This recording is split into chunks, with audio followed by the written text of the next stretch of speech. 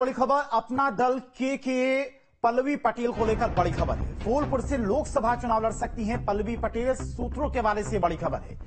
अपना दल के के संस्थापक सोनीलाल पटेल की कर्मभूमि रही है फूलपुर तो बड़ी खबर आपको बता रही हैं, इस वक्त की लोकसभा चुनाव से जुड़ी हुई। अपना दल के की पल्लवी पटेल को लेकर ये बड़ी खबर है। फूलपुर से लोकसभा का चुनाव लड़ सकती हैं पल्लवी पटेल। अपना दल के संस्थापक सोनेलाल पटेल की कर्मभूमि रही है फूलपुर, जहाँ से पल्लवी पटेल इस बार का लोकसभा चुनाव लड़ सकती हैं, जो कि अखिलेश यादव से उनकी दूरी हो गई है।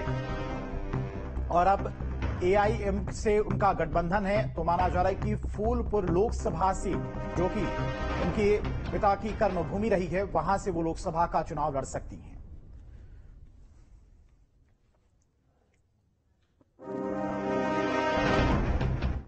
लखनऊ से बड़ी खबर फरार तीस सोना